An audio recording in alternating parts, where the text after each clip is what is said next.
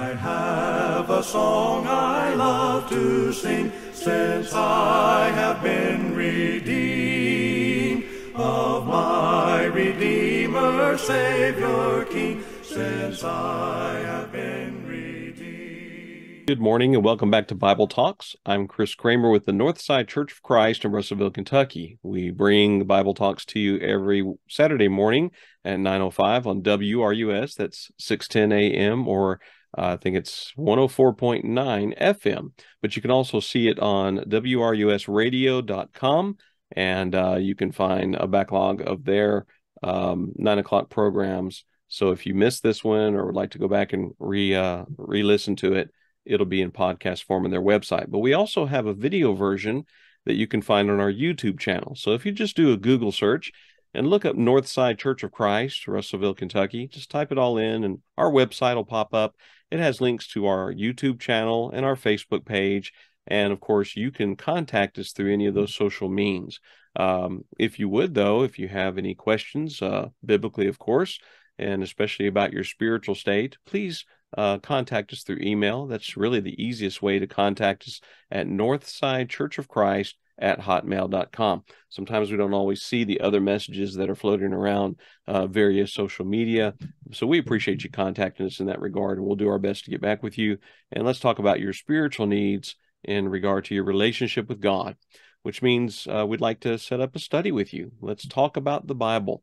Uh, let's sit down. Let's sit across the table from each other and uh, open up God's Word and uh, have a good heart to heart discussion about what God would have us do.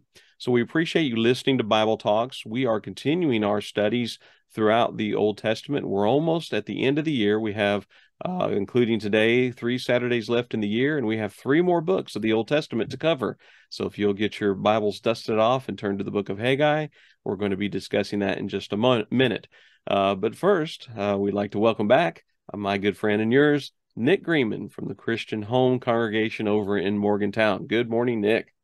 Good morning, Chris, and good morning, Bible students. It is good to be with you all again today. And uh, sorry for missing out uh, with you guys last couple of weeks, uh, but I'm glad to be back and jump back into this uh, uh, study of the Old Testament. And we're going to be looking at Haggai, as you said just a moment ago. Uh, we'll be looking at this prophet and and how he encouraged the people to get back to work and of course uh, there are going to be some really cool modern day applications to that mentality uh, so but let me introduce myself and where I preach. And for anybody in the Butler County area, you are most welcome to come on out to Christian Home Church of Christ. We meet at 3628 uh, Lovely Road.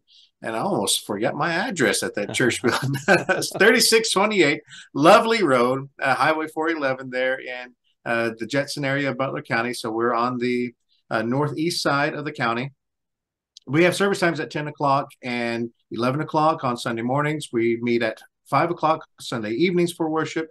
And so many opportunities on the Lord's Day to come and join us, and we encourage you to do so. And then midweek Bible studies Wednesdays at seven. Uh, we are still working through in our Bible class the book of Psalms, and we are uh, working away, uh, trudging along. And this Sunday, we're going to continue our study on the imprecatory Psalms, which are the Psalms of curses. And so it's an interesting study. If you're wanting to learn more about that, well, then come and check us out. And uh, so let's get into Haggai, Chris. I'm excited about it. Yeah. Well, you know, first I'll say I, I don't have to remember our address because uh, if you know where Kentucky Fried Chicken is, uh, then you know where we are because we are right next door. So we um, want to encourage you to worship with us every Sunday morning at nine o'clock and Wednesday evenings at seven o'clock. And our address is actually 689 North Main Street. So that's in Russellville. So we there's churches in Russellville, Morgantown. If you're in the Bowling Green area, we'll you know contact us. We'll set you up with some brethren in that area and anywhere in between. So wherever you might be listening to our program, we can find some churches for you to go and worship with and study God's word. As we look at the book of Haggai, and you made a comment just a moment ago, Nick, that uh, I really wanted to focus on, and I always kind of like to leave the historical things to you because you have a good mind uh, for connecting so many of these these books and these writings to history. I know you're a history buff in general, and uh, you know that knowledge and interest has served you well in understanding a little bit more as to time periods, where Haggai falls in the timeline of God's people and the exile from Babylon. Um, and uh, Haggai overall, as you said, applies to us today from a uh, example standpoint. You know, this is if I were to give a, a theme or a title to Haggai, I might call it a time for priorities. Um, and and we see it especially around these holiday seasons and things like this, where you know we tend to put a lot of priorities in things and um, and you know in family and, and places that we go. Which God is not condemning having things. He's not condemning having a home. He's not condemning obviously providing for our families as is commanded us in Scripture, but he is rebuking the fact that men are not putting God first. So we have to remember that that uh, putting God first doesn't mean that we necessarily have less. It doesn't necessarily mean that we aren't taken care of and that we have to make a vow of poverty or something like that. Uh, there are some religions and people that actually believe that kind of thing in, in Scripture. Uh, but to put God first means that, well, let's just look at the basic things in life. Uh, we give of our means each week, as the Bible commands us to do uh, when we come together as a church and we give to God. And that money is to be used for the purpose of spreading his gospel. And we could talk more about that in another program. But what I'm getting at here is in your budget for the week, what's the first thing that you budget for? Is it food? Is it gas? Is it your car payment, your house payment? Uh, may I suggest to you that you put God at the top of that list and budget yourself to give unto the Lord first. This is the example and the precedent that we see all through Scripture. We see it with the building of the wall uh, back in Nehemiah's day. We see it with uh, purpose of heart that people had when they came and brought items for the construction of the tabernacle uh, back in Moses' day. And they had a heart to work, they were willing to work, and they brought more than what was needed uh, to where they actually had to stop the people and say, We don't need any more. But now we've gotten into such a relaxed state of God's people after they've spent this past generation in bondage. They have been promised to come home, come home to Jerusalem, come home to the place of worship, come home to the place that remember Daniel opened his door, opened the windows, and he faced Jerusalem to pray to God three times a day. That's where they wanted God to be in that temple and in that place. And if you remember in Ezekiel's day, you know, one of the images that Ezekiel saw was a uh, a great throne uh, that came facing away from Jerusalem. And I think there's a lot of significant things there that God had left that place because the people were not following his will. But now they're home. Now some years have passed. Why hasn't the temple been rebuilt? Why haven't they been putting more of their efforts in putting God first and finishing the work that they were supposed to be doing.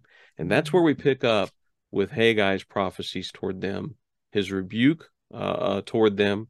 And of course, let's not forget that there will be a hope for a redemption.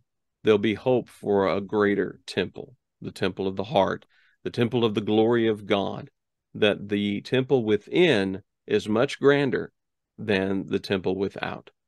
So, Nick, um, where would you like to start us off with?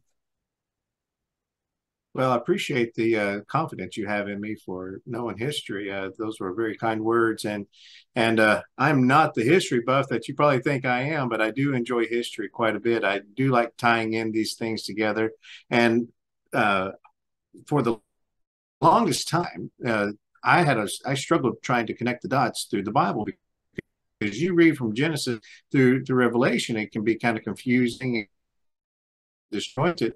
And it wasn't until I finally started studying the historical backdrop that everything started to fit in place. The way it was for me, other people might might find other other keys to to get it all to play out in their head correctly. But for me, it was history. And, and so yeah, I do take a, a lot of joy in studying and searching out that historical backdrop so that I can appreciate the the political uh, context uh, going into some of this. Um, and so, if if there's any listeners out there, uh, you know, Chris and I sure would love to have a comment from you on our uh, videos or Facebook. You know, what was what was it about? Uh, you know, what was it for you that helped you unlock some of those things about the Bible? And so, for me, the historical backdrop is key. And and one of the coolest features that we see is that this period is well recorded in our Bibles for us. Whereas historically, the Persian Empire was one of the longest running ancient empires we have very little to go off of historically speaking. What a lot of it we get is from the Greek Empire, and of course that's going to be biased. Uh, but in the scriptures, we do have some very interesting uh, windows to see that that time period. And if we go back to Second Chronicles, the last few verses of that book, it says in verse 22, it says, Now in the first year of Cyrus, king of Persia, in order to fulfill the word of the Lord by the mouth of Jeremiah, the Lord stirred up the spirit of Cyrus, king of Persia, so that he sent a proclamation throughout the kingdom and also put it in writing, saying, Thus says Cyrus, king of Persia, the Lord, the God of heaven, has given me all the kingdoms of the earth. He has appointed me to build him a house in Jerusalem, which is in Judah. Whoever there is among you of all his people, may the Lord his God be with him and let him go up. And so that's the proclamation from the king of Persia, Cyrus. He sends the he allows the Jews to go back home to to the land of Canaan. The 70 years in Babylonian captivity is over. There is relief, there there's deliverance from God, and now they are being ruled by an empire that seems to be very hospitable mm-hmm. uh, to to their religion and their way of life. And so they go back. And yet, what did mm-hmm. Chris say a minute ago? They didn't build the temple they started and then yeah. they had some trouble. Let me uh, uh, let me uh, interject something here. You know, we had some similar discussions when we talked about Esther and the mm-hmm. time period and uh, how she became a queen of a particular province, and you know that not everybody went back to Jerusalem.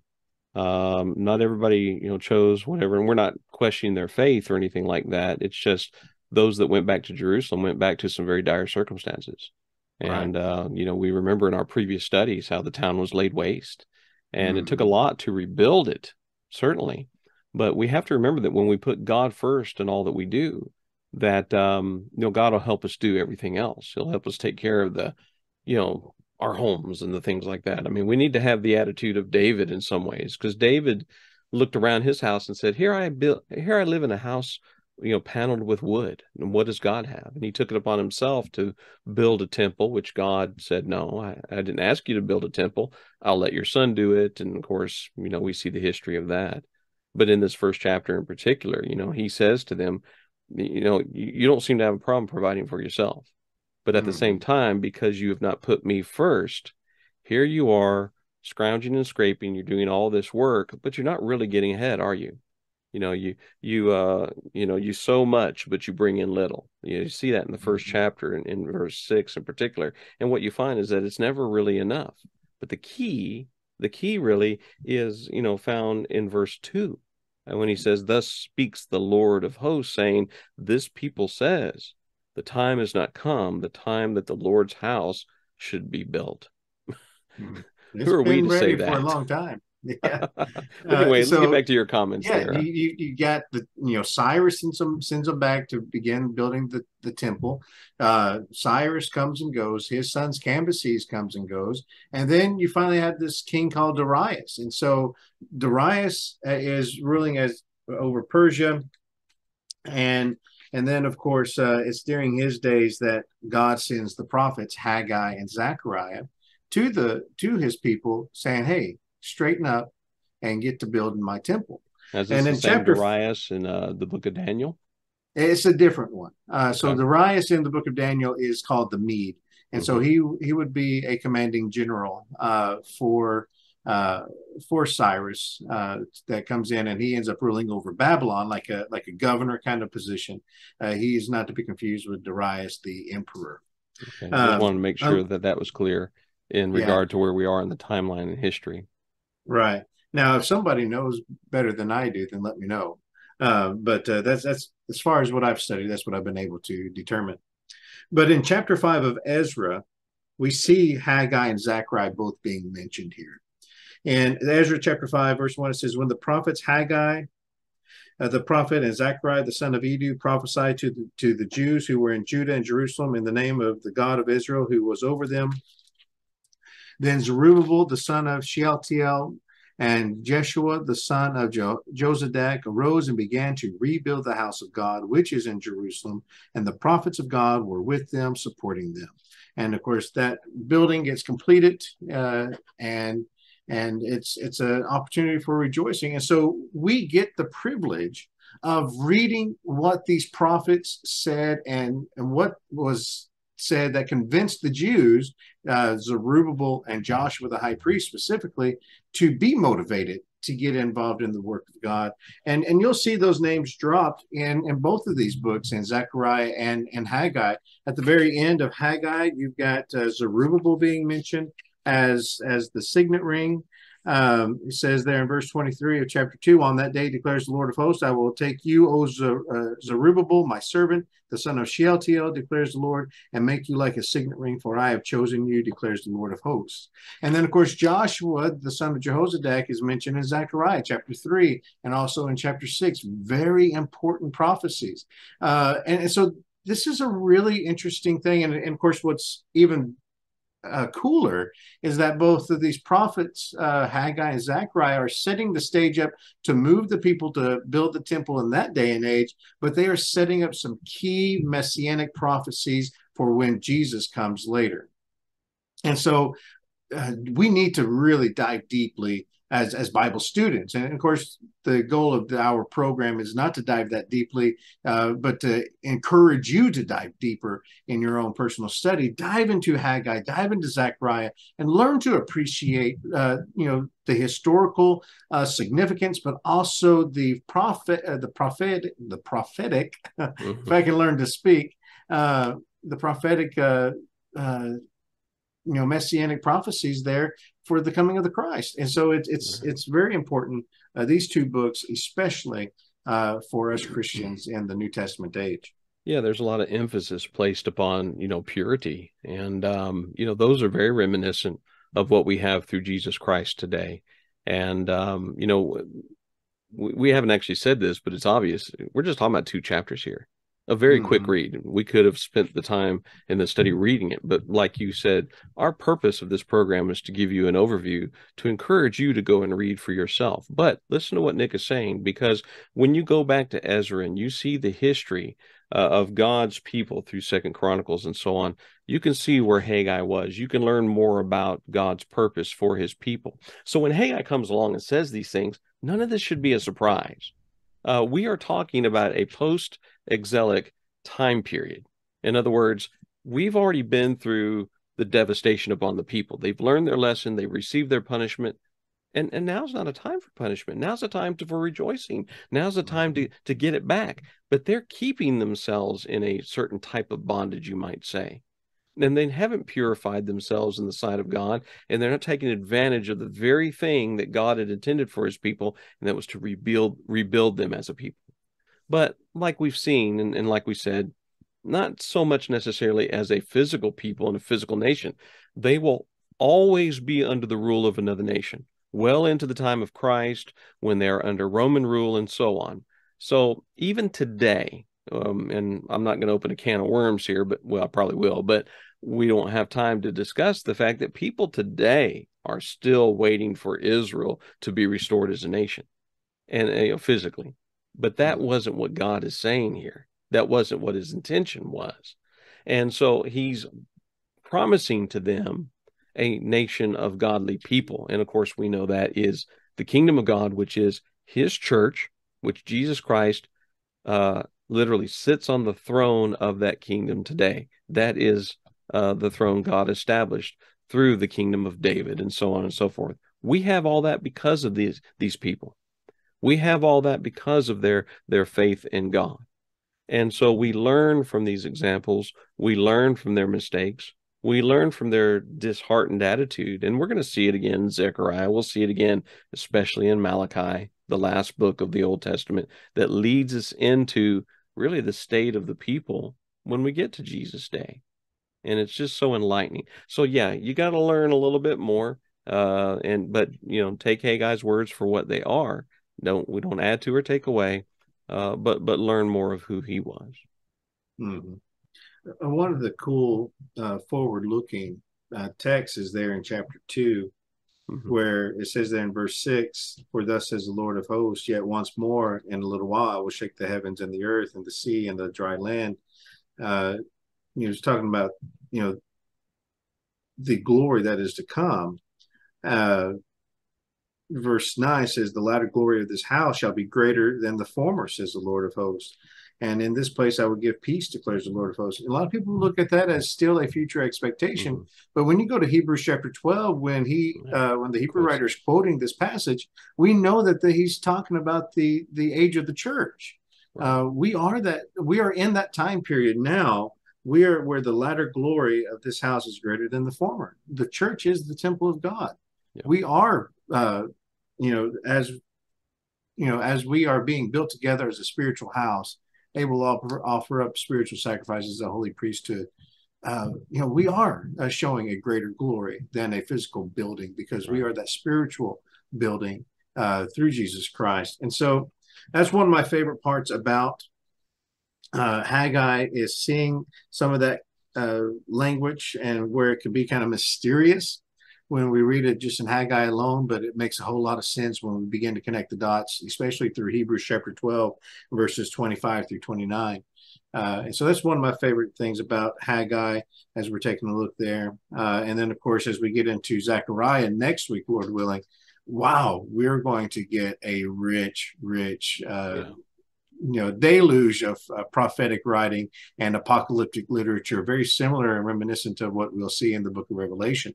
And so a great building block for us to appreciate some of this language and and help us build a context of when to apply uh, some of these uh, illustration symbols that we will see not only in Zechariah, but maybe Ezekiel, uh, Daniel, and also in especially in the book of Revelation excellent points. And of course, we're out of time for our program today. But what we haven't covered in Haggai, uh, of course, go back and and uh, and you know study it for yourself. But like uh, Nick said, when we look in Zechariah and we see a little bit more of a fleshing out of these things, um, you know, Haggai kind of reminds me like when you go to the book of Jude. Uh, it's just really one chapter, but uh, just the quick nature in which he wants to get in there and just you know start the ball rolling and really encourage the people with a quick message of this is what needs to be done and needs to be done now. Uh, these shorter books always remind me more of uh, writings of desperation and desperate mm-hmm. times. Uh, you may think that we as gospel preachers we preach with desperate times. You know, at the end of every sermon, we're encouraging people to you know get their spiritual life straightened up with God. We feel that it is a desperate call uh, to make things right with God today because you and I don't know if we have tomorrow. What's interesting about the people of this time period is they were counting on a tomorrow. You know, God said, I'm not going to do anything unless I tell one of my prophets first. And so what they have going for them is a future, is a hope. Our future is a home in heaven. Now we hasten that. We want that to come. But the fact is, is that we don't know when, so we need to be ready now.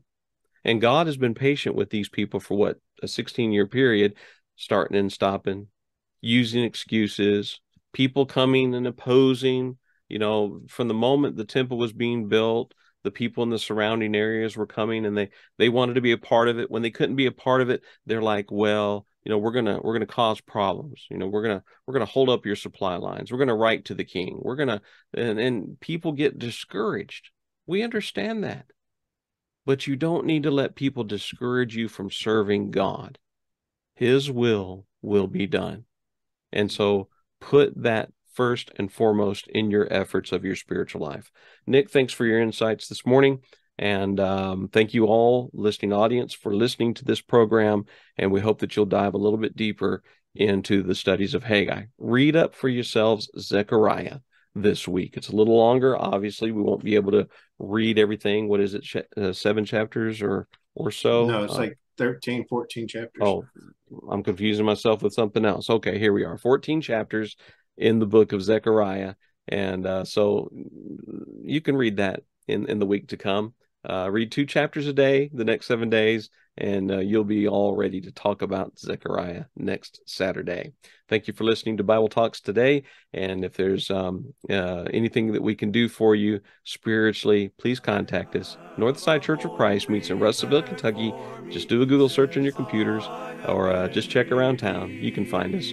We'll uh, see you Sunday morning at 9 o'clock. And until then, Have a good day. Have a good rest of your week. And we'll see you next time on Bible Talks. Since I have been redeemed, since I have been redeemed, since I have been redeemed, I will glory in his name. Since I have been redeemed, since I have been redeemed, I will glory in my Savior's name.